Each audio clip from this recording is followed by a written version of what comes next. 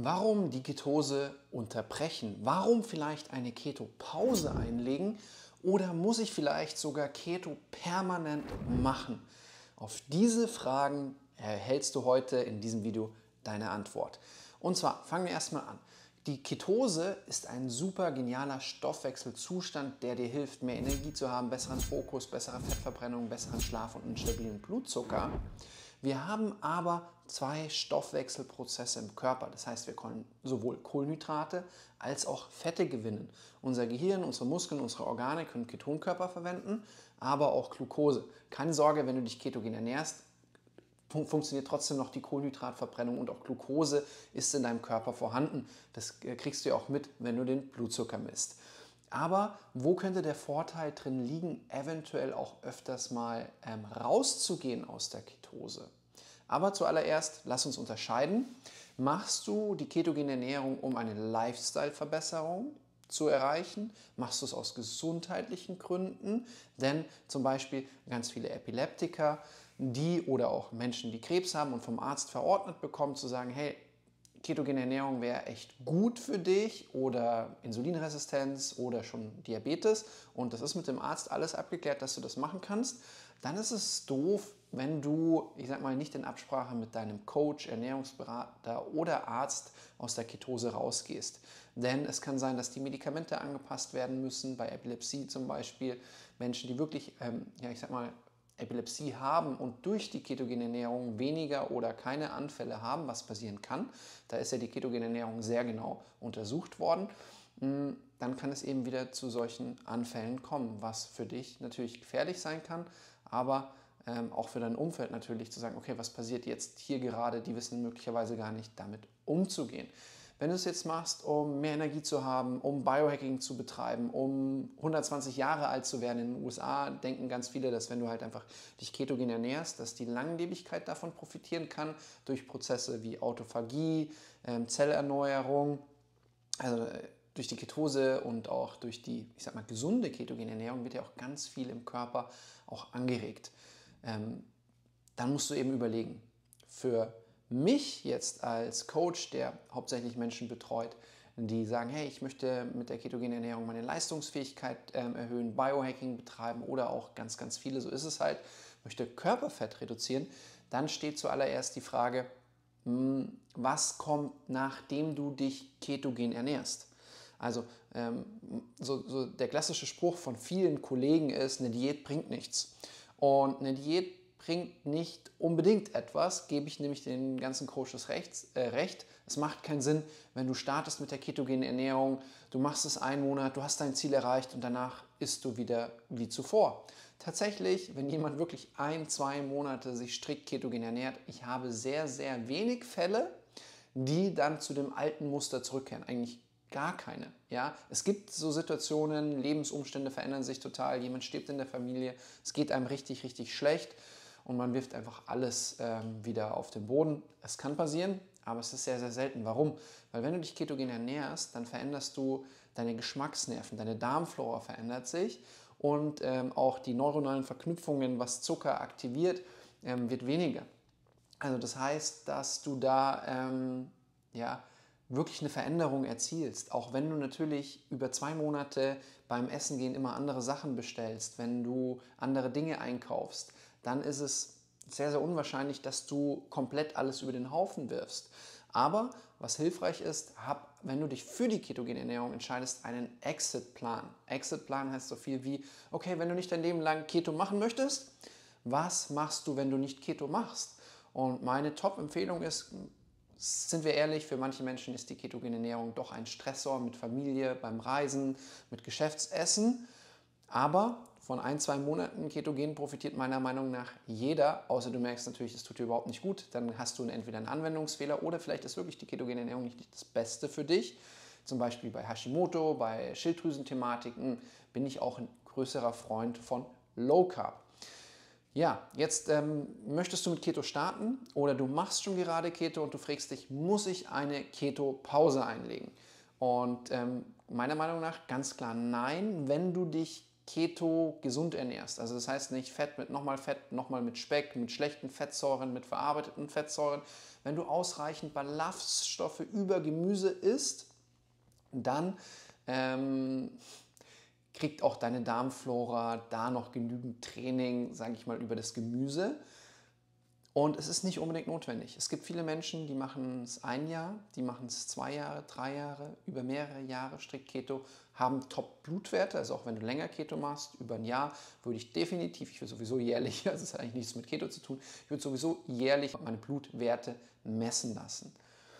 Wenn du jetzt aber sagst, Mensch, ähm, ich habe auch mal Lust, andere Dinge zu essen oder hey, ich möchte meinen Stoffwechsel maximal metabolisch flexibel haben, es, es ist eigentlich nicht so, dass du wirklich darauf achten musst, dann mal Kohlenhydrate zu essen, denn sobald du Kohlenhydrate wieder isst, wenn du dich ketogen ernährst, der Körper kann eigentlich sofort sehr, sehr schnell wieder damit was anfangen. Es ist nicht so, dass du es wirklich verlernen kannst. Vor allem nicht, wenn du, ähm, auch wenn du gut Keto adaptiert bist, mal ein bisschen mehr Obst isst, auch mal ein bisschen mehr Gemüse isst, Dadurch fällst du ja nicht gleich raus aus der Ketose. Ich habe eher so Menschen, die schon länger Keto machen und sagen, hey, ich komme ja gar nicht raus aus der Ketose, Hilfe, was kann ich machen? Also äh, das sind dann schon wirklich die Freaks, die auch viel mit Fasten arbeiten, also positiv Freaks, sehr disziplinierte Menschen, äh, meinen höchsten Respekt, die oft hohe Ketonwerte haben, aber die sagen, hey, ich komme ja gar nicht raus. Also das heißt erstmal, was passiert, wenn ich die Ketose unterbreche? Also wenn ich die Ketose unterbreche, dann ist es so, dass eben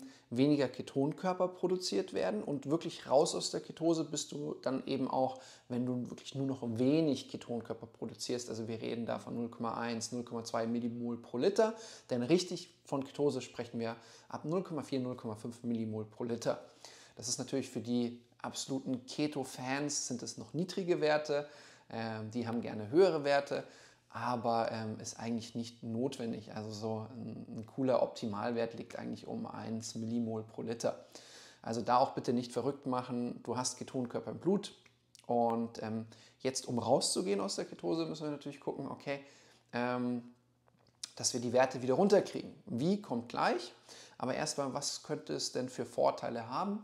Also allgemein ähm, wird manchmal der ketogenen Ernährung nachgesagt, dass auch die Hormonwerte sich verändern können. Deswegen Blutbild machen, Hormone testen lassen und eben schauen, ob es da alles positiv ist. Bei vielen verändert sich es ja auch ins Positive.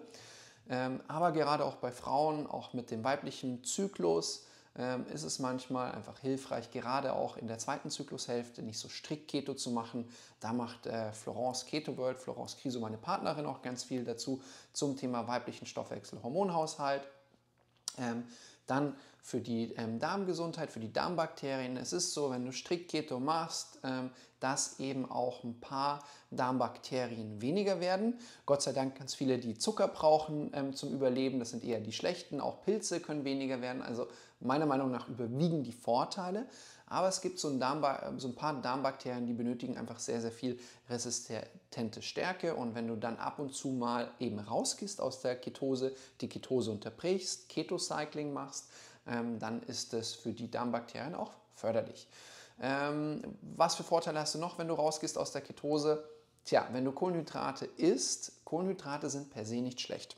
Es gibt natürlich Kohlenhydrate wie Zucker, wie verarbeitete ähm, Kohlenhydrate, wie ja, Dinge, die die Nahrungsmittelindustrie macht, die wirklich fies sind, wie Fructose, Mais, Corn Syrup, also wirklich Dinge, die unser Gehirn eigentlich überhaupt nicht verarbeiten kann. Extremes äh, Belohnungsempfinden in unserem Körper, deswegen auch dieses Suchtpotenzial. Ähm, Coca-Cola mit, äh, mit Zucker etc. Es braucht kein Mensch. Oder auch was tatsächlich viele immer dachten, was als extrem gesund galt, ist viel, viel Obst essen, auch mit viel Fruchtzucker, Fructose, tatsächlich auch zusätzlich zugeführt oder Obst in Form von Säften. Du nimmst super viel Zucker auf einmal auf und ähm, das ist nicht unbedingt förderlich. Wenn du aber jetzt zum Beispiel sagst, um rauszukommen aus der Ketose, du isst ähm, mehr ich sag mal, gesunde Obstsorten, also es gibt keine ungesunden Obstsorten, es geht dann immer um die Menge, aber zum Beispiel nach dem Training isst du eine Banane. Ja, diese Banane wird einen Blutzuckerausstoß fabrizieren und in der Folge auch mehr Insulin. Und Insulin, ähm, gerade wenn dein Körper insulinsensitiv ist, also nicht insulinresistent, sondern das Gegenteil, insulinsensitiv, dann kann diese Banane dir helfen, dass du mehr anabol, ich sag mal, unterwegs bist. Das heißt, dass dein Körper einen verstärkten Muskelaufbau haben kann. Aber auch nicht nur Muskelaufbau, sondern auch eine verstärkte ähm, Regeneration. Das kann man sich auch manchmal vom Schlafengehen zunutze machen. Also es gibt auf jeden Fall Vorteile, wo man auch Kohlenhydrate auch mal einsetzen kann. Ähm, manche im Bodybuilding nutzen die Ketophase, um ganz stark zu definieren, aber in der Aufbauphase essen sie wieder Kohlenhydrate. Und gerade durch das keine Kohlenhydrate und dann aber wieder Kohlenhydrate ist der Kontrast sehr stark für den Körper und natürlich ähm, dieser anabole Effekt auch größer, als wenn du immer Kohlenhydrate isst. Das ist so, der Körper passt sich an alles immer an. Dann ähm, Carboloading ähm, vor einem Wettkampf als Ausdauerathlet das ist etwas, was super spannend ähm, sein kann, wenn du Läufer bist, wenn du Triathlet bist, wenn du Ironman machst. Der, also immer mehr Menschen im Ausdauerbereich setzen auf die ketogene Ernährung, weil sie ja dadurch den Fettstoffwechsel extrem trainieren. Und wenn der Fettstoffwechsel gut trainiert ist, dann hast du einfach die Möglichkeit, immer ja, gut zur Energie zu kommen. Und wenn du aber zum Beispiel zwei, drei Tage vor dem Wettkampf ähm, deutlich mehr Kohlenhydrate isst, ähm, dann sind ja deine Glykogen, die Kohlenhydratspeicher der Muskeln leer und durch dieses Kohlenhydratessen bekommst du eine super Kompensation. Sprich, deine Speicher der Muskeln werden übervoll, also werden noch voller, werden ausgeweitet, sind groß, sind dann voll. Dann würde ich aber einfach nur schauen, dass du vor dem Wettkampf eben nicht direkt davor Kohlenhydrate isst, sondern dann wieder ähm, mit, Fett, mit Fetten arbeitest und erst gegen Ende des Wettkampfs sollte an der Wettkampfstrecke wie bei einem Marathon auch Bananen angeboten werden, wirklich erst gegen Ende hin wieder Kohlenhydrate essen.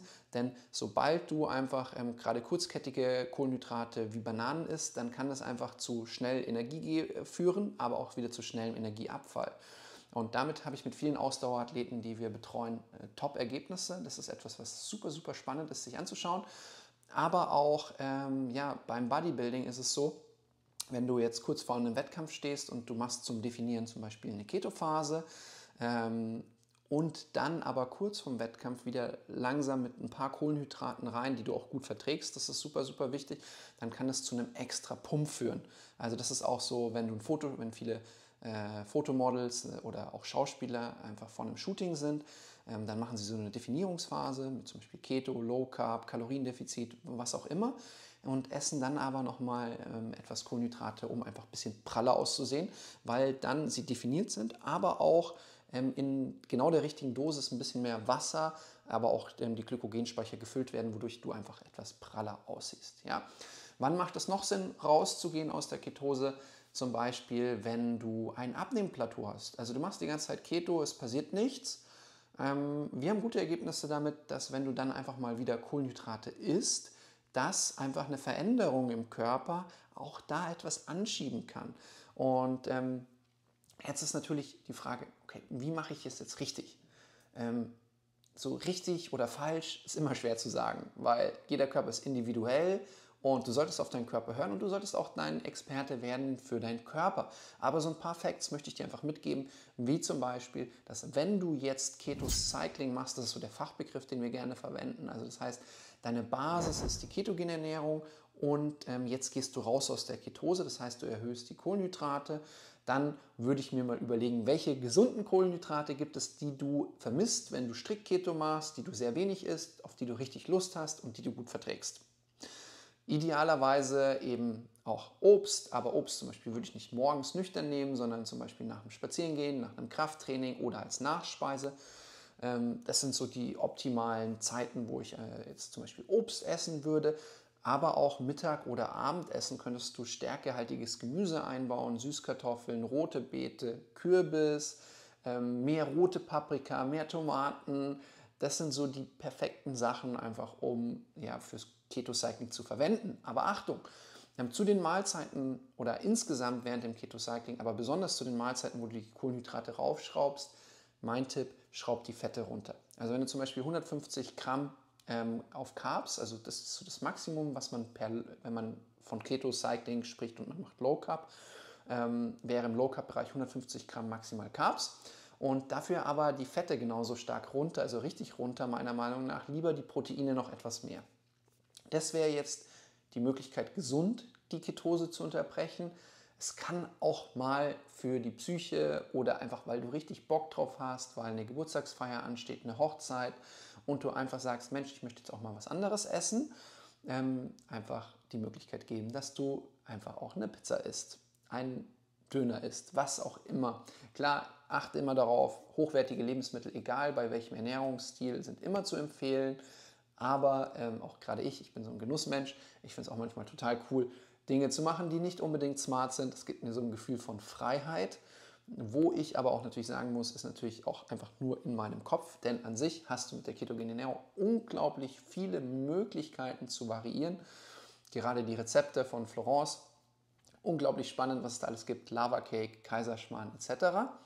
Und ähm, ja, jetzt für dich, wenn du jetzt sagst, okay, ähm, Ketose unterbrechen, ja, also ich habe jetzt die ketogene Ernährung gemacht, ein Monat, zwei Monate und ich will eigentlich nicht weitermachen. Mein Top-Tipp ist, mach danach Low Carb und arbeite genau mit diesen stärkehaltigen Gemüsesorten, Obstsorten und variiere und bringe einfach ein paar Lebensmittel wieder rein, die du vermisst. Achte aber darauf, dass du einfach die gesunde Basis hast, das heißt, schau, ob dir Intervallfasten gut tut, mach es ab und zu. Schau, ähm, dass du den Zucker weiterhin weglässt, weitestgehend. Es ist an sich nicht notwendig. Es gibt Erythrit und Stevia zum Süßen. Und auf der anderen Seite ist es auch nicht schlimm, wenn man mal eine Ausnahme macht. Das ist etwas, was ich dir mitgeben möchte. Die Herausforderung ist halt immer das, wenn man zum Beispiel, ich kenne das, äh, wenn wir zum Beispiel bei der Familie sind von Florence, ähm, es ist eine Weingegend, da wird mir jeden Abend Wein angeboten und ich finde es super mal beim ersten Abend, beim zweiten Abend und wenn ich dann aber zwei Abende Wein trinke, dann merke ich am dritten Abend, oh, eigentlich so ein Glas Wein wäre ganz cool. Und wenn wir beim Reisen sind und es ist einfach total gemütlich und wir, wir essen echt immer gut, aber wenn es dann mal da eine Bowl gibt, wo ein bisschen Reis mit dabei ist, da mal ein Inder, wo ohne Reis oder Naan nicht ganz so toll ist und man jetzt selber kein Brot vorbereitet hat, dann man, kommt halt sehr schnell wieder in dieses alte Fahrwasser rein, auch wenn du deinen Körper unkonditioniert hast von Darmflora, von Gewohnheiten etc. Mein Tipp ist einfach, sei da achtsam.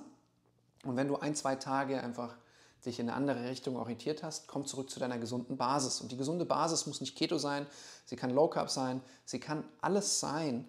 Das Wichtigste überhaupt sind die Auswahl der Lebensmittel dass die hochwertig sind, dass die möglichst natürlich sind, weil der Körper kann mit allem, was natürlich ist, gut umgehen.